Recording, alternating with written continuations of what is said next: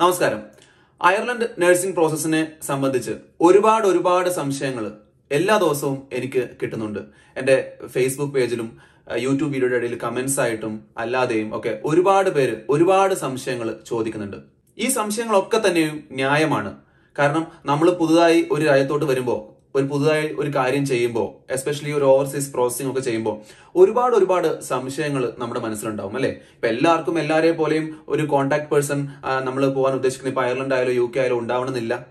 നമ്മുടെ സുഹൃത്തുക്കൾ ഉണ്ടാവണമെന്നില്ല. അല്ലെങ്കിൽ നമ്മുടെ സംശയങ്ങൾ ആയിരിക്കില്ല വേറൊരാൾക്ക്. അങ്ങനെ പലർക്കും പല കാരണങ്ങളായിരിക്കും. എല്ലാ സംശയങ്ങളും ന്യായമാണ്.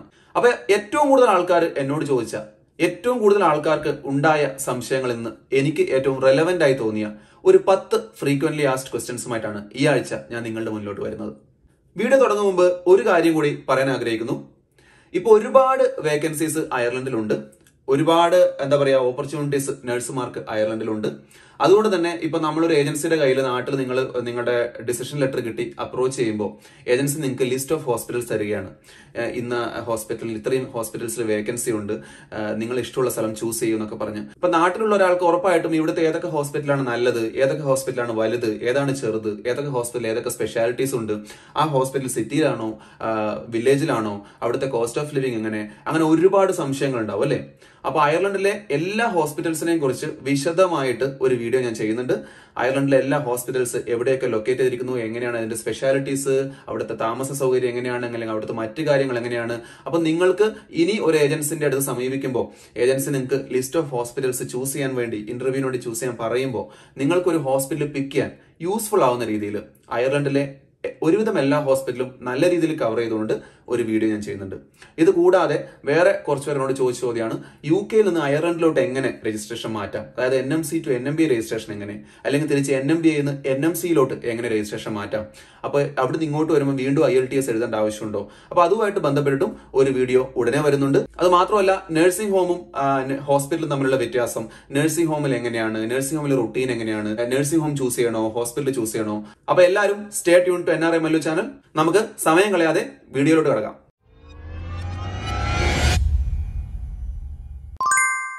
ഏറ്റവും കൂടുതൽ ആൾക്കാർ ചോദിച്ച ചോദ്യമാണ് ഇന്ത്യയിൽ ഞാനിപ്പോൾ വർക്ക് ചെയ്യുന്ന ഡൽഹിയിലാണ് അല്ലെങ്കിൽ ഞാനിപ്പോൾ വർക്ക് ചെയ്തത് തമിഴ്നാട്ടിലാണ് എനിക്കുള്ളത് കേരള രജിസ്ട്രേഷൻ ആണ്. അത് കഴിഞ്ഞ് ഞാൻ ആന്ധ്രയിൽ പോയി വർക്ക് ചെയ്തു തമിഴ്നാട്ടിൽ വർക്ക് ചെയ്തു ഡൽഹി വർക്ക് ചെയ്തു. ഈ സ്റ്റേറ്റിലൊന്നും എനിക്ക് രജിസ്ട്രേഷൻ ഇല്ല. അപ്പൊ ഞാൻ ഇപ്പൊ വർക്ക് ചെയ്യുന്ന സംസ്ഥാനത്തെ രജിസ്ട്രേഷൻ നിർബന്ധമാണോ എൻ എം ബി എ പ്രോസസ്സിങ്ങിന് നമ്മുടെ നാട്ടിൽ പണ്ട് നമ്മൾ എല്ലാ സ്റ്റേറ്റിലും മാറി മാറി രജിസ്റ്റർ ചെയ്യുന്ന ഒരു ശീലം ഉണ്ടായിരുന്നു. സുപ്രീം കോടതിയുടെ ഒരു വിധി വന്നായിരുന്നു. അതായത് നമ്മുടെ ഇന്ത്യയിൽ ഏതെങ്കിലും ഒരു സ്റ്റേറ്റിൽ രജിസ്ട്രേഷൻ നമുക്ക് ഉണ്ടെങ്കിൽ അത് നമ്മുടെ ഏത് സ്റ്റേറ്റിൽ വർക്ക് ചെയ്യാനും നമ്മളെ എലിജിബിൾ ആക്കുന്നു എന്ന് പറഞ്ഞുകൊണ്ട്.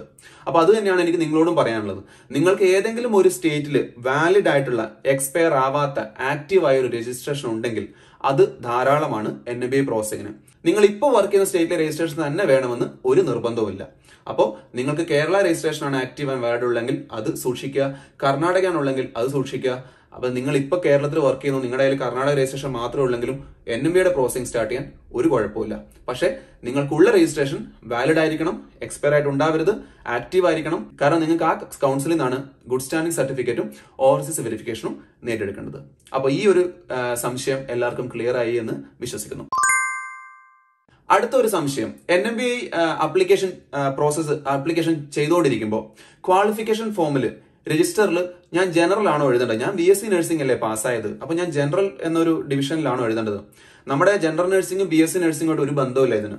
ഇവിടെ നഴ്സിംഗിൽ നമ്മൾ നോർമൽ ഉള്ള ഒരു നഴ്സിനെയാണ് ജനറൽ നഴ്സ് എന്ന് പറയുന്നത്. അതായത് ബി എസ് സി നഴ്സ് അല്ലെങ്കിൽ അങ്ങനെ ഒരു ജനറൽ ആയിട്ട് ക്വാളിഫൈഡ് ആയിട്ടുള്ള ഒരു trained നഴ്സിനെ general division of N M B A register എന്നാണ് പറയുന്നത്. അതല്ലാതെ സൈക്യാട്രിക് ഡിവിഷൻ ഉണ്ട് ചിൽഡ്രൻസ് നഴ്സ് ഉണ്ട് മിഡ് വൈഫ് ഉണ്ട് അങ്ങനെ പല പല രജിസ്റ്ററിൽ ഡിഫറെന്റ് ഡിവിഷൻസ് ഉണ്ട്.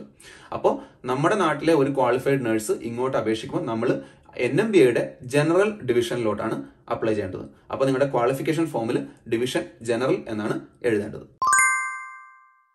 അടുത്തത് N M B decision letter വല്ലാതെ വൈകുന്നു. എന്താ ചെയ്യേണ്ടത്? എങ്ങനെ N M B A contact ചെയ്യാം? ഞാൻ ഇതിനു മുമ്പ് വിശദമായിട്ട് ഒരു വീഡിയോ ചെയ്തിട്ടുണ്ട് എൻ എം ബിയുടെ ഡിസിഷൻ ലെറ്റർ എന്തുകൊണ്ട് വൈകുന്നു എന്നൊക്കെ പറഞ്ഞിട്ട്. അപ്പൊ അതുപോലെ തന്നെ ഞാൻ വീണ്ടും ഇന്ന് രാവിലെ ഈ വീഡിയോ ചെയ്യുന്നതിന് മുമ്പായിട്ട് ഒന്നുകൂടി എൻ എം ബി ഐ ഞാൻ വിളിച്ചു. N M B I same കാര്യം തന്നെയാണ് പറയുന്നത്. ഒന്ന് ഒരുപാട് വോളിയൂം ഓഫ് അപ്ലിക്കേഷൻസ് ആണ് ഇപ്പോൾ അവർക്ക് ഒരുപാട് അപ്ലിക്കേഷൻസ് വരുന്നുണ്ട്. ഓരോ അപ്ലിക്കേഷനും ഓരോ ഇൻഡിവിജ്വൽ പേഴ്സണലി എടുത്തിട്ടാണ് പ്രോസസ്സ് ചെയ്യുന്നത് അല്ലെങ്കിൽ അസസ് ചെയ്യുന്നത്. അപ്പോൾ അതിനുള്ള കാലതാമസം ന്യായമായും ഉണ്ട്. പിന്നെ അറ്റ് ദ സെയിം ടൈം തന്നെ നാൽപ്പത്തഞ്ച് ദിവസം കൊണ്ട് ഡിസിഷൻ ലെറ്റർ കിട്ടിയവരുമുണ്ട്. ഒന്നര വർഷമായി ഡിസിഷൻ ലെറ്റർ കാത്തിരിക്കുന്നവരുണ്ട് അതൊക്കെ നമ്മുടെ ഒരു ഭാഗ്യം പോലെയും കൂടി ഇരിക്കും. കാരണം ചിലപ്പോൾ നമ്മൾ കൊടുത്ത ഏതെങ്കിലും ഒരു ഡോക്യുമെന്റിൽ എന്തെങ്കിലും കാര്യത്തിൽ ഒരു ക്ലാരിഫിക്കേഷൻ വന്നാൽ നമുക്കൊരു ക്വയറി വരും. പിന്നെ നമ്മൾ അതിന്റെ പുറകെ അത് കറക്റ്റ് ചെയ്യാൻ വേണ്ടി ഓടി നടക്കുന്നു അത് ഇവിടെ എത്തുന്നു അത് ചിലപ്പോൾ ഇവിടെ എത്തത്തില്ല ചിലപ്പോൾ എന്തെങ്കിലും ഡിലേ വരുന്നു കമ്മ്യൂണിക്കേഷനിലേക്ക് നമ്മൾ പറയുന്ന കാര്യം ഇവർക്ക് മനസ്സിലാവുന്നില്ല. അതൊക്കെ നമ്മുടെ ഓരോ ഇൻഡിവിജ്വൽ അപ്ലിക്കേഷന്റെയും ഓരോ എന്താ പറയുക ലക്കാണ് അപ്പോൾ ഞാൻ പറഞ്ഞ പോലെ തന്നെ നാൽപ്പത്തഞ്ച് ദിവസം കൊണ്ടും അല്ലെങ്കിൽ മൂന്ന് മാസം കൊണ്ടും ഒരു കുഴപ്പമില്ല ഡിസിഷൻ ലെറ്റർ ഇപ്പോഴും ആൾക്കാർക്ക് കിട്ടുന്നുണ്ട്. പിന്നെ എന്താ പറയുക ആറ് മാസം കൊണ്ടോ അല്ലെങ്കിൽ ഒരു വർഷം കൊണ്ടോ ആയിട്ട് കിട്ടുന്നവരോ അല്ലെങ്കിൽ കിട്ടാത്തവരോ ഡിലേ ആവുന്നവരോ ഒരുപാട് മൾട്ടിപ്പിൾ ക്വയറീസ് വന്നവരോ ഒക്കെ ഉണ്ട്. അപ്പോൾ അതിനകത്ത് ഏറ്റവും പ്രധാനപ്പെട്ടത് കഴിഞ്ഞ വീഡിയോയിൽ ഞാൻ പറഞ്ഞ പോലെ തന്നെ കാര്യം എന്ന് പറഞ്ഞാൽ നിങ്ങൾ ഫസ്റ്റ് ടൈം ചെയ്യുമ്പോൾ തന്നെ രണ്ടോ മൂന്നോ നാലോ വട്ടം എല്ലാം മേക്ക് ഷുവർ ചെയ്ത് കറക്റ്റ് ആണെന്ന് ഉറപ്പ് വരുത്തിയിട്ട് മാത്രം അപ്ലോഡ് ചെയ്ത് സബ്മിറ്റ് ബട്ടൺ ക്ലിക്ക് ചെയ്യുക. കാരണം നിങ്ങൾ ഇത് അപ്ലോഡ് ചെയ്യുമ്പോഴോ അല്ലെങ്കിൽ നിങ്ങൾ ഒരു ഫോംസ് ഫില്ല് ചെയ്യുമ്പോഴോ ഓൺലൈൻ ഫോംസ് ഫില്ല് ചെയ്യുമ്പോഴോ ഏതെങ്കിലും ഒരു കവളം മിസ്സാവുകയോ തെറ്റാവുകയോ ചെയ്യുമ്പോഴാണ് ഈ ക്വയറീസ് വരികയും പിന്നെ അതിന്റെ പുറകെ നിങ്ങൾക്ക് തന്നെ സ്ട്രെസ് എടുക്കേണ്ടിയും ഒക്കെ വരുന്നത് അപ്പോൾ എൻ ബി എയിലെ ഡിസിഷൻ ലെറ്ററിലെ ഡിലേക്കുള്ള കാരണം ഒന്ന് കാൻഡിഡേറ്റിന്റെ ഭാഗത്തു നിന്നുള്ള ഏതെങ്കിലും രീതിയിലുള്ള ഒരു ഒരു ശ്രദ്ധക്കുറവോ മറ്റോ ആണ്. പിന്നെ എൻ എം ബി ഐക്കുള്ള വോളിയൂം ഓഫ് അപ്ലിക്കേഷൻസ് ഇപ്പോൾ ഒത്തിരി കൂടുതലാണ്. അപ്പോൾ ഇതാണ് ഇതിനുള്ള മറുപടി. വേറെ എല്ലാവർക്കും ഉള്ള ഒരു സംശയമാണ് എൻ എം ബി രജിസ്ട്രേഷന് ഏജൻസിയെ കോൺടാക്ട് ചെയ്യേണ്ട കാര്യമുണ്ടോ? ഒരിക്കലുമില്ല. ഞാൻ ഇതിനു മുമ്പത്തെ വീഡിയോയിൽ ഒരുപാട് വട്ടം പറഞ്ഞിട്ടാണ് എൻ എം ബി രജിസ്ട്രേഷൻ ഒന്നും നിങ്ങൾ ഒരു കാരണവശാലും ദയവേത് ഏജൻസിയുടെ കയ്യിൽ കൊണ്ടുപോയി പൈസ കളയരുത്. വളരെ സ്വന്തമായി നമ്മുടെ വീട്ടിലിരുന്ന് ഒരു കമ്പ്യൂട്ടർ വെച്ച് നമുക്ക് ചെയ്യാവുന്നതാണ് എൻ എം ബി രജിസ്ട്രേഷൻ എങ്ങനെ ചെയ്യണം എന്നുള്ള വിശദമായിട്ടൊരു വീഡിയോ ഞാൻ ചെയ്തിട്ടുണ്ട്. ഇനിയും നിങ്ങൾക്ക് സംശയം ഉണ്ടെങ്കിൽ കമന്റ് ബോക്സിൽ ചോദിക്കുക. അറിയാവുന്ന കാര്യങ്ങൾ ഓണസ്റ്റ് ആയിട്ട് ഞാൻ നിങ്ങൾക്ക് പറഞ്ഞുതരാം. നിങ്ങൾക്ക് എൻ എം ബി ഐന്ന് ഡിസിഷൻ ലെറ്ററും കൂടി കിട്ടിയ ശേഷം മാത്രം ഒരു ഇന്റർവ്യൂ സ്റ്റേജിൽ എത്തുമ്പോൾ മാത്രമേ ഒരു ഏജൻസി ആവശ്യമുള്ളൂ. പണം കൊടുത്ത് അയർലൻഡിലോട്ട് വരേണ്ട ഒരു സാഹചര്യം ഒരു രജിസ്റ്റേർഡ് നേഴ്സിന് നിലവിൽ ഇല്ല. ഫ്രീ റിക്രൂട്ട്മെന്റ് ആണ് നടക്കുന്നത്. വീണ്ടും വീണ്ടും ഞാനിത് റീഇൻസ്റ്റേറ്റ് ചെയ്യാണ്. പണം കൊടുത്ത് ലക്ഷങ്ങൾ കൊടുത്ത് ഒരു നേഴ്സായി അയർലൻഡിലോട്ട് വരരുത് മണ്ടത്തരം കാണിക്കരുത്. കാരണം ഫ്രീ ആയിട്ട് വരാൻ ഒരുപാട് ഓപ്ഷൻ ഇപ്പോൾ ഉണ്ട് അടുത്താണ് നാട്ടിൽ നിന്ന് N M B I contact ചെയ്യുന്നത് എങ്ങനെയാണ്? അത് ഞാൻ ഇതിനു മുമ്പത്തെ വീഡിയോയിൽ പറഞ്ഞിട്ടുണ്ട്. കാരണം N M B I contact ചെയ്യുമ്പോൾ വിളിച്ചാൽ ആരും എടുക്കുന്നില്ല. അല്ലെങ്കിൽ നാട്ടിൽ നിന്ന് വിളിച്ചാൽ കിട്ടുന്നില്ല. പിന്നെ നാട്ടിൽ നിന്ന് ഐ എസ് ഡി കോളാണ് വിളിക്കുന്നത്. എങ്ങനെ വിളിക്കും? എത്ര എക്സ്പെൻസീവ് അല്ലേ? കാരണം ഇമെയിൽ അയച്ചാൽ ഇപ്പോൾ കുറച്ച് ദിവസത്തിനുള്ളിൽ മറുപടി വരുന്നില്ല. കാരണം ജി ത്രീയുടെ ഇമെയിൽ നമുക്കൊക്കെ അറിയാം. ഓവർസീസ് കാൻഡിഡേറ്റ്സിന്റെ അതിൽ അയച്ചാൽ കുറെ പേർക്കൊക്കെ മറുപടി കിട്ടുന്നുണ്ട്. കുറെ പേർക്ക് മറുപടി കിട്ടുന്നില്ല. പിന്നെ ഈ മറുപടി വെയിറ്റ് ചെയ്യേണ്ടി വരുന്നു. എന്താ അതിനൊരു പരിഹാരം? അതിനുള്ളൊരു പരിഹാരം സ്കൈപ്പ് വഴി നിങ്ങൾക്ക് എൻ എം ബി എ വിളിക്കാവുന്നതാണ്. സ്കൈപ്പിൽ നിങ്ങളൊരു ഓൺലൈൻ അക്കൗണ്ട് നിങ്ങളുടെ ക്രിയേറ്റ് ചെയ്യുക. സ്കൈപ്പ് ഐ ഡി ഉണ്ടാക്കുക. എന്നിട്ട് അതിൽ നാട്ടിൽ നിന്നുള്ള നമ്മുടെ ഒരു എമൗണ്ട് റീചാർജ് ചെയ്യുക. അഞ്ഞൂറ് അഞ്ഞൂറ് രൂപയോ ആയിരം രൂപയോ നമ്മൾ ടോപ്പ് അപ്പ് ചെയ്യാം. എന്നിട്ട് ഇന്റർനാഷണൽ ഫോൺ ലാൻഡ് ലൈനിലോട്ട് നമുക്ക് സ്കൈപ്പ് വഴി വിളിക്കാൻ പറ്റും. വളരെ ചെറിയ ചാർജേ ഉള്ളൂ. സെക്കൻഡിനാണ് അതിന്റെ റേറ്റ് അത് മാത്രമല്ല അതിന് വാലിഡിറ്റി ഒന്നുമില്ല. നിങ്ങൾ രണ്ടോ മൂന്നോ നാലോ മാസം കൊണ്ട് ഉപയോഗിച്ച ആ പൈസ തീർക്കണമെന്നില്ല നിങ്ങൾക്ക് അതുവഴി എൻ എം ബിയുടെ കസ്റ്റമർ കെയർ നമ്പറിലോട്ട് വിളിച്ച് നിങ്ങളുടെ കാര്യങ്ങളൊക്കെ ചോദിക്കാവുന്നതാണ്. അപ്പൊ എൻ എം ബി ഐ വിളിക്കാൻ ഇനി ഐ എസ് ഡിയുടെ ഒരു കോസ്റ്റ് ഓഫ് ഫോൺ കോളിനെ വിചാരിച്ചാരും വിളിക്കാതിരിക്കേണ്ട. സ്കൈപ്പ് വഴി വളരെ എളുപ്പത്തിൽ നിങ്ങൾക്ക് എൻ എം ബിയുടെ ലാൻഡ് ലൈനിലോട്ട് കസ്റ്റമർ കെയറോട് വിളിച്ച് നിങ്ങളുടെ സംശയങ്ങളും കാര്യങ്ങളും ഒക്കെ തീർക്കാൻ പറ്റുന്നതാണ്. എൻ എം ബി വിളിക്കാനുള്ള നമ്പർ ഈ വീഡിയോയുടെ താഴെ വരുന്നുണ്ട്. എല്ലാവർക്കും അത് യൂസ്ഫുൾ ആവുമെന്ന് വിചാരിക്കുന്നു. ഇതിന്റെ കൂടെ തന്നെ എനിക്ക് പറയാനുള്ളത് ഇപ്പൊ ഇനി എൻ ബി എ വിളിച്ചിട്ട് നിങ്ങൾക്ക് കിട്ടുന്നില്ല അല്ലെങ്കിൽ നിങ്ങൾ ഇമെയിൽ അയച്ചിട്ട് മറുപടി കിട്ടുന്നില്ല ഒക്കെ ഉണ്ടെങ്കിൽ കഴിഞ്ഞ എൻ ബി എയുടെ ഡിസിഷൻ ലെറ്റർ എന്തുകൊണ്ട് വൈകുന്നു എന്ന വീഡിയോയിൽ ഞാൻ പറഞ്ഞിട്ടുണ്ട്. അയർലൻഡിലുള്ള ഒരാളെ നിങ്ങൾക്ക് നോമിനേറ്റ് ചെയ്യാവുന്നതാണ്. എങ്ങനെയാണെന്ന് ആ വീഡിയോ കണ്ടാൽ നിങ്ങൾക്ക് മനസ്സിലാവും. അപ്പൊ നിങ്ങൾ ഒരാളെ നോമിനേറ്റ് ചെയ്യുകയാണെങ്കിൽ അയാൾക്ക് ഇവിടുന്ന് എൻ ബി എ വിളിച്ച് അന്വേഷിക്കാം. ഇവിടുന്ന് വിളിക്കുമ്പോൾ ഒരു അഡ്വാന്റേജ് എന്ന് വെച്ചാൽ ഇവിടുന്ന് ഒരു ടോൾ ഫ്രീ നമ്പർ ഉണ്ട്. അതും ഈ വീഡിയോയുടെ താഴെ വരുന്നുണ്ട്. അയർലൻഡിലോ യു കെയിലോ മാത്രമാണ് ഈ നമ്പറിലോട്ട് വിളിക്കാൻ പറ്റുക. കാരണം ഇത് ഇവിടുത്തെ ഒരു നമ്മുടെ നാട്ടിലേക്കുള്ള വൺ എയ്റ്റ് ഡബിൾ സീറോ പോലത്തെ ഒരു ടോൾ ഫ്രീ നമ്പറാണ് ഇവിടുത്തെ ഫോണിൽ നിന്ന് ലോക്കൽ ഫോണിൽ നിന്ന് വിളിക്കാൻ പറ്റുന്നത്. അപ്പോൾ ഇവിടെ നിങ്ങൾക്ക് ഒരു നോമിനി ഉണ്ടെങ്കിൽ നിങ്ങളുടെ ഫ്രണ്ടോ പരിചയക്കാരനോ ആരെങ്കിലും ഒക്കെ നിങ്ങളുടെ നോമിനിയായി അയർലൻഡിൽ നിങ്ങളുടെ നിങ്ങൾക്ക് വേണ്ടി നിങ്ങളുടെ കാര്യങ്ങൾ എൻ എം ബി ആയിട്ട് എൻക്വയറി ചെയ്യാൻ റെഡി ആണെങ്കിൽ ഈ നമ്പറിൽ അവർക്ക് കോൺടാക്ട് ചെയ്യാവുന്നതാണ്. കുറച്ചും കൂടി എളുപ്പത്തിൽ കാര്യങ്ങൾ കിട്ടും. അപ്പൊ എങ്ങനെയാണ് നിങ്ങളുടെ ഫ്രണ്ടിനെ നോമിനി ആക്കാമെന്ന് മുന്നത്തെ വീഡിയോ ഞാൻ പറഞ്ഞിട്ടുണ്ട്. റിപ്പീറ്റ് ചെയ്യുന്നില്ല. അടുത്ത ഒരു ചോദ്യമാണ് ജി എൻ എം നഴ്സുമാർക്ക് എൻ എം ബി എക്ക് അപേക്ഷിക്കാൻ പറ്റുമോ? തീർച്ചയായും. പണ്ട് ബി എസ് സി നഴ്സുമാർക്ക് മാത്രമായിരുന്നു ഓപ്പർച്യൂണിറ്റി പിന്നെ ജനറൽ നഴ്സുമാർക്കും ആക്കി. സോ ഇപ്പൊ നിങ്ങൾ ജനറൽ നഴ്സിംഗ് ആണെങ്കിലും ബി എസ് സി നഴ്സിംഗ് ആണെങ്കിലും post certificate in B S C nursing ഒക്കെ ആണെങ്കിലും എൻ എം ബി ഐയുടെ പ്രോസസ്സിംഗ് സെയിം ആണ്. നിങ്ങൾക്കും അയർലൻഡിൽ ഒരു രജിസ്റ്റേർഡ് നഴ്സ് ആവാൻ പറ്റുന്നതാണ്. ഇതുമായി ബന്ധപ്പെട്ട് വരുന്ന അടുത്ത ചോദ്യമാണ് ജനറൽ നഴ്സിംഗുകാർക്ക് അപ്പോൾ ക്രിട്ടിക്കൽ സ്കില്ല് വർക്ക് പെർമിറ്റ് തന്നെയാണോ കിട്ടുന്നത്? രണ്ടായിരത്തി പത്തൊമ്പത് വരെ അല്ലായിരുന്നു. ആ നിയമം മാറ്റി. കാരണം രണ്ടായിരത്തി പത്തൊമ്പത് വരെ ജനറൽ നഴ്സുകാർക്ക് ജനറൽ വർക്ക് പെർമിറ്റും ബി എസ് സി നഴ്സുമാർക്ക് ക്രിട്ടിക്കൽ സ്കിൽ വർക്ക് പെർമിറ്റുമാണ് കിട്ടിക്കൊണ്ടിരുന്നത്. അതിന്റെ പേര് ഇവിടെ കുറച്ച് സമ- സമരങ്ങളും കുറച്ച് കാര്യങ്ങളും പ്രശ്നങ്ങളൊക്കെ ഉണ്ടായിരുന്നു. അങ്ങനെ ഗവൺമെന്റ് അത് തീരുമാനിച്ചു. കാരണം നമ്മൾ ഒരു ഹോസ്പിറ്റലോ ഒരു സ്ഥലത്തോ വർക്ക് ചെയ്യുമ്പോൾ നമ്മൾ രണ്ടുപേരും ചെയ്യുന്ന ജോലി സെയിം ആണ്. നമ്മൾ രണ്ടുപേർക്കും ശമ്പളം ഏകദേശം ഒരുപോലെയാണ്. നമ്മളുടെ റെസ്പോൺസിബിലിറ്റീസ് ഒക്കെ സെയിം ആണ്. പക്ഷേ അയാൾക്ക് ജനറൽ വർക്ക് പെർമിറ്റ് ഒരു വർഷം കഴിഞ്ഞാലേ ഫാമിലിയെ കൊണ്ടുവരാൻ പറ്റൂ. എനിക്ക് ക്രിട്ടിക്കൽ സ്കില്ല് എനിക്ക് വന്ന് ക്രിട്ടിക്കൽ സ്കില്ല് കിട്ടിയ ഒരു മൂന്ന് മാസത്തിൽ തന്നെ കുടുംബത്തെയൊക്കെ കൊണ്ടുവരാം. അവിടെ ഒരു തുല്യതയില്ല അല്ലേ? അപ്പൊ അതിന്റെ പേര് തന്നെയാണ് ഈ മാറ്റം വരുത്തിയത്. അപ്പൊ രണ്ടായിരത്തി പത്തൊമ്പത് മുതൽ ഇങ്ങോട്ട് ജനറൽ നഴ്സുമാർക്കും എല്ലാ നഴ്സുമാർക്കും ഒറ്റ വർക്ക് പെർമിറ്റ് ആണ്. ക്രിട്ടിക്കൽ സ്കിൽ വർക്ക് പെർമിറ്റ് അതിന്റെ ഏറ്റവും വലിയ അഡ്വാന്റേജ് വന്ന ഉടനെ അതായത് within three months critical skill കൈ കിട്ടിയ ഉടനെ ഫാമിലിയെ കൊണ്ടുവരാം നമുക്ക്. ഒരുപാട് പേർക്ക് ഇപ്പൊ കിട്ടുന്ന ഒരു സ്റ്റാറ്റസ് ആണ് എൻ എം ബി ആപ്ലിക്കേഷൻ പ്രോസസ്സിൽ അവൈറ്റിംഗ് എക്സ്റ്റേണൽ വാലിഡേഷൻ എന്താണിത്? അതെച്ചാൽ എൻ എം ബിയിൽ ഒരുപാട് അപ്ലിക്കേഷൻസ് വരുമ്പോൾ റാൻഡം ആയിട്ട് കുറച്ച് അപ്ലിക്കേഷൻസ് അവർ പിക്ക് ചെയ്യും. അവർ റീചെക്കിന് വേണ്ടി പിക്ക് ചെയ്യും. അപ്പൊ അതിനകത്ത് വരുന്നതാണ് അവൈറ്റിംഗ് എക്സ്റ്റേണൽ വാലിഡേഷൻ അതായത് നിങ്ങളുടെ നഴ്സിംഗ് കൗൺസിലിലോട്ടോ അല്ലെങ്കിൽ നിങ്ങളുടെ എംപ്ലോയറിലോട്ടോ അവർ വീണ്ടും ഒരു എൻക്വയറി അയക്കുകയാണ്. വെച്ചാൽ ഈ പറഞ്ഞ കാര്യങ്ങൾ ആദ്യം സബ്മിറ്റ് ചെയ്ത കാര്യങ്ങൾ കറക്റ്റ് ആണോ അല്ലെങ്കിൽ അതുമായിട്ട് ബന്ധപ്പെട്ട എന്തെങ്കിലും ക്ലാരിറ്റി അവർക്ക് ആവശ്യമുണ്ടെങ്കിൽ അത് ചോദിക്കാൻ വേണ്ടി അവർ ഒന്നും കൂടി അയക്കുന്നതാണ്. അപ്പോൾ നിങ്ങളുടെ സ്റ്റാറ്റസ് അങ്ങനെ ഉണ്ടെങ്കിൽ ഏറ്റവും ബെസ്റ്റ് നിങ്ങൾക്ക് ചെയ്യാവുന്ന നിങ്ങളുടെ നഴ്സിംഗ് കൗൺസിൽ അല്ലെങ്കിൽ നിങ്ങളുടെ ഹോസ്പിറ്റലിനെ കോൺടാക്ട് ചെയ്യുക. എന്തെങ്കിലും ക്വയറി വന്നിട്ടുണ്ടോ എന്ന് അന്വേഷിക്കുക. വന്നിട്ടുണ്ടെങ്കിൽ എത്രയും പെട്ടെന്ന് അത് കംപ്ലീറ്റ് ചെയ്ത് തിരിച്ച് എൻ എം ബി അയക്കാനുള്ള കാര്യങ്ങൾ നിങ്ങൾ തന്നെ മുന്നിട്ടിറങ്ങി ചെയ്യുക. പിന്നെ കുറെ പേർക്ക് ഇത് ഒരു ലേറ്റർ സ്റ്റേജിൽ വരുന്നുണ്ട്. അതായത് നിങ്ങൾ എൻ എം ബിയുടെ പ്രോസസ്സിംഗ് നടക്കുമ്പോഴൊന്നും ഇത് വരത്തില്ല. എല്ലാം ക്ലിയർ ആയി. നിങ്ങൾക്ക് ഡിസിഷൻ ലെറ്റർ കിട്ടി. നിങ്ങൾ അയർലൻഡിൽ എത്തി ആപ്റ്റിറ്റ്യൂഡ് ടെസ്റ്റോ അല്ലെങ്കിൽ അഡാപ്റ്റേഷനോ ഒക്കെ ചെയ്ത് പിന്നെ കിട്ടാൻ നേരത്ത് അവർ എക്സ്റ്റേണൽ വാലിഡേഷൻ അയക്കും ഒന്നും കൂടി. അപ്പോൾ നിങ്ങൾക്ക് പിന്ന് കിട്ടാനും ഡിലേ ആകും ഒരു കണക്കിന് പറഞ്ഞാൽ നിങ്ങളുടെ പ്രോസസ്സ് നടക്കുന്ന സമയത്ത് തന്നെ എക്സ്റ്റേണൽ വാലിഡേഷനും കൂടെ കഴിയുന്നതാണ് നല്ലത്. കാരണം പിന്നീട് നിങ്ങൾ എല്ലാം കഴിഞ്ഞ് പിന്നിന് വേണ്ടി വെയിറ്റ് ചെയ്യുമ്പോൾ അവിടെ ഒരു അപ്രതീക്ഷിത ഡിലേ ഒഴിവാക്കാൻ പറ്റും. പിന്നെ ഈ പറഞ്ഞ പോലെ നൂറ് പേര് അപ്ലൈ ചെയ്യുന്നുണ്ടെങ്കിൽ ഒരു അമ്പത് പേർക്കോ അല്ലെങ്കിൽ മുപ്പത് പേർക്കോ ഒക്കെ ഇത് വരുന്നുള്ളൂ. എല്ലാവർക്കും ഇതൊന്നും വരുന്നില്ല. ഒരു പ്രശ്നവും ഇല്ലാണ്ട് ഒരു ക്വയറി ഇല്ലാണ്ട് വെറും നാൽപ്പത്തഞ്ചോ അമ്പതോ ദിവസം കൊണ്ട് ഡിസിഷൻ ലെറ്ററും കിട്ടി. അത് കഴിഞ്ഞ് പിന്നെയും കിട്ടിയ ആൾക്കാരുണ്ട്. എല്ലാ സ്റ്റേജിലും പ്രശ്നം ഉണ്ടായ ആൾക്കാരുണ്ട്.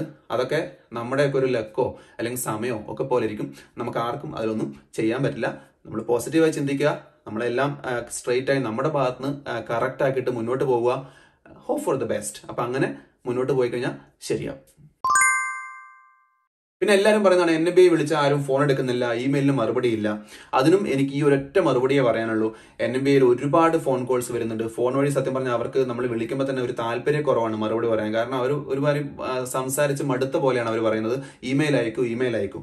ഇമെയിലിന് മറുപടി ഇല്ല എന്ന് നമ്മൾ ചോദിക്കുമ്പോൾ അവർ പറയുന്നത് ഇമെയിൽ ഒരുപാട് ഇമെയിൽ വരുന്നതുകൊണ്ടാണ് പക്ഷെ നിങ്ങൾക്ക് മറുപടി വരും നിങ്ങൾ വെയിറ്റ് ചെയ്യൂ നിങ്ങൾ വെയിറ്റ് ചെയ്യൂ അങ്ങനെ അവർ പറയുന്നത്.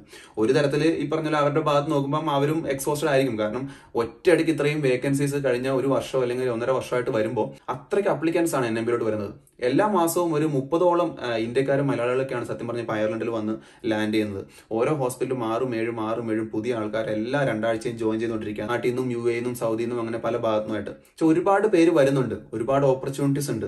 അത്രയും അപ്ലിക്കേഷൻസും ഉണ്ട്. അപ്പൊ അതുകൊണ്ടാണ് എൻ എം ബിയിൽ പലപ്പോഴും വിളിച്ചാൽ കിട്ടാത്തതും ഇമെയിലിനൊക്കെ ഡിലേ വരുന്നത്. N M B A status incomplete എന്ന് കാണിക്കുന്നു. അതെന്താന്ന് വെച്ചാൽ നമ്മളുടെ അപ്ലിക്കേഷൻ ഫോം കംപ്ലീറ്റ് അല്ല. സിമ്പിളായിട്ട് അത്രേ ഉള്ളൂ. നമ്മൾ ചെയ്തേക്കുന്ന നമ്മൾ അപ്ലോഡ് ചെയ്യുന്ന ഫോം അതിനകത്ത് ഏതെങ്കിലും ഒരു കോളം ഏതെങ്കിലും കാര്യം എന്തെങ്കിലും ഇമ്പോർട്ടന്റ് ആയിട്ടുള്ള കാര്യം അല്ലെങ്കിൽ ഏതെങ്കിലും സപ്പോർട്ടിംഗ് ഡോക്യുമെന്റ്സ് മിസ്സിംഗ് ആണെങ്കിലാണ് ഇത്. അപ്പോൾ അത് എൻ എം ബി ആയി കോൺടാക്ട് ചെയ്ത് എത്രയും പെട്ടെന്ന് റെക്ടിഫൈ ചെയ്യാൻ നോക്കുക.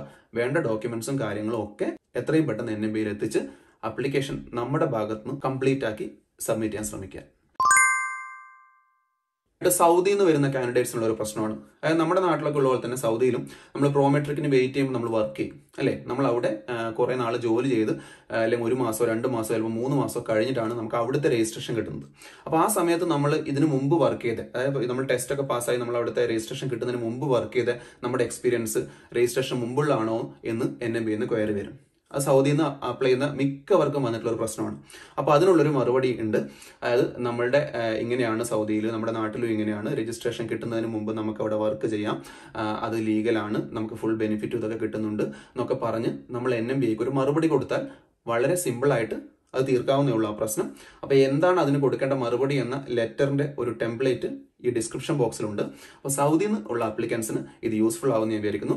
എൻ ബിയിൽ നിന്ന് നിങ്ങൾക്ക് സൗദി അപ്ലിക്കൻസിന് ക്വയറി വന്നിട്ടുണ്ടെങ്കിൽ ഈ ടോപ്പിക്കിൽ വന്നിട്ടുണ്ടെങ്കിൽ ആ ടെംപ്ലേറ്റ് അതുപോലെ എടുത്ത് കോപ്പി പേസ്റ്റ് ചെയ്ത് നിങ്ങളുടെ ഡീറ്റെയിൽസ് അതിനകത്ത് എന്റർ ചെയ്തിട്ട് തിരിച്ച് എൻ എം ബിക്ക് അയച്ചാൽ മതി. പിന്നെ ഫ്രീക്വന്റ്ലി ആസ്റ്റ് ക്വസ്റ്റൻസിനെ കുറിച്ച് ഇതിനു മുമ്പ് ചെയ്ത വീഡിയോയിൽ ഞാൻ പറഞ്ഞൊരു കാര്യമാണ്. ഇപ്പോഴും ആൾക്കാർ എന്നോട് ചോദിക്കുന്നു ബർത്ത് സർട്ടിഫിക്കറ്റ് വേണോ? അയർലൻഡ് പ്രോസസ്സിംഗിന് എന്ന്. ബർത്ത് സർട്ടിഫിക്കറ്റ് അയർലൻഡ് പ്രോസസ്സിംഗിന് നിലവിൽ നിർബന്ധമില്ല. ഞാൻ കഴിഞ്ഞ വീഡിയോയിലും പറഞ്ഞാണ് കാരണം നമ്മുടെ ബാക്കിയുള്ള സർട്ടിഫിക്കറ്റ് വേണമെന്നേ ഉള്ളൂ. ബർത്ത് സർട്ടിഫിക്കറ്റ് ഉണ്ടെങ്കിൽ വളരെ നല്ലതാണ്. എൻ എം ബിയുടെ സമയത്ത് അവർ ബർത്ത് സർട്ടിഫിക്കറ്റ് മാൻഡേറ്ററി ആയി ചോദിക്കുന്നില്ല. പിന്നെ വിസയുടെ സ്റ്റേജിലോ അല്ലെങ്കിൽ എംബസി ആയിട്ട് ബന്ധപ്പെട്ട സമയത്ത് ചിലപ്പോൾ അവർ ചോദിച്ചേക്കാം. അതുകൊണ്ട് ബർത്ത് സർട്ടിഫിക്കറ്റ് നിങ്ങളുടെ കയ്യിൽ ഉണ്ടെങ്കിൽ നല്ലതാണ്. അതില്ലാത്തവർക്ക് ചെയ്യാൻ പറ്റുന്ന ഒരു കാര്യം എന്താണെന്ന് വെച്ചാൽ പ്രൂഫ് ഓഫ് ബർത്തിന് ഒരു അഫിഡവിറ്റ് ഉണ്ടാക്കുക.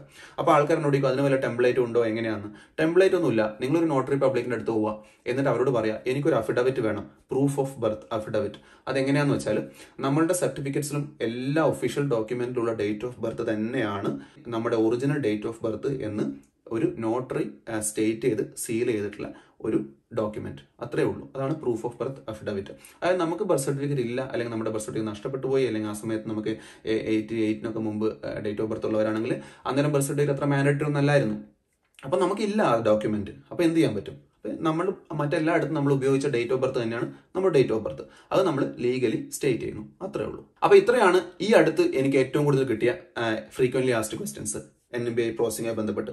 ഇനി ഇതല്ലാതെ നിങ്ങൾക്ക് എന്തെങ്കിലും സംശയം ഉണ്ടെങ്കിൽ ഫീൽ ഫ്രീ ടു ആസ്ക് എനിക്ക് അറിയാത്ത ഒരുപാട് കാര്യങ്ങളുണ്ടാവും. അതെല്ലാം ഞാൻ മാക്സിമം എന്റെ സുഹൃത്തുക്കളും ഈ അടുത്ത് പ്രോസസ്സിംഗ് ചെയ്തവരും പിന്നെ N M B A direct contact ചെയ്തിട്ടും എന്തൊക്കെ സോഴ്സിൽ നിന്ന് എനിക്ക് ഇൻഫർമേഷൻ ഗ്യാദർ ചെയ്യാൻ പറ്റുമോ അതെല്ലാം ഗ്യാദർ ചെയ്ത് പരമാവധി നിങ്ങളെ ഹെൽപ്പ് ചെയ്യാൻ യൂസ്ഫുൾ ആയിട്ടുള്ള സത്യസന്ധമായ ഇൻഫർമേഷൻ നൽകാൻ ഞാൻ ശ്രമിക്കുന്നതായിരിക്കും. അതുകൊണ്ട് നിങ്ങൾക്ക് എന്ത് സംശയം ഉണ്ടെങ്കിലും കമന്റ് ബോക്സിലോ അല്ലെങ്കിൽ എൻ ആർ എം എല്ലോ ഫേസ്ബുക്ക് പേജിലോ ചോദിക്കാവുന്നതാണ്. അപ്പൊ എൻ എം ബി അപ്ലൈ ചെയ്യുന്ന എല്ലാവരോടും എനിക്ക് ഒറ്റ ഒരു കാര്യം പറയാനുള്ളൂ. കംപ്ലീറ്റ്ലി കറക്റ്റ് ആക്കി എല്ലാം നമ്മുടെ ഭാഗത്ത് നിന്ന് ശരിയാണെന്ന് തോന്നി എല്ലാ ഡോക്യുമെന്റ്സും പ്രോപ്പർ ആയതിനു ശേഷം മാത്രം സബ്മിറ്റ് ചെയ്യുക. ഇൻകംപ്ലീറ്റ് ആയിട്ട് ഒരു അപ്ലിക്കേഷനും സബ്മിറ്റ് ചെയ്യാതിരിക്കുക. വീഡിയോ നിങ്ങൾക്ക് യൂസ്ഫുൾ ആയി ഞാൻ വിചാരിക്കുന്നു. ഇതുപോലെ ഒരുപാട് ഇൻട്രസ്റ്റിംഗ് ടോപ്പിക്സുമായിട്ട് ഞാൻ വരുന്നതായിരിക്കും. ഇനിയും ഈ ചാനൽ സബ്സ്ക്രൈബ് ചെയ്തെങ്കിൽ എൻ ആർ മല്ലു ചാനൽ തീർച്ചയായും സബ്സ്ക്രൈബ് ചെയ്യുക ബെൽ ഐക്കൺ അമർത്തുക N R Facebook page like ചെയ്യുക. Take care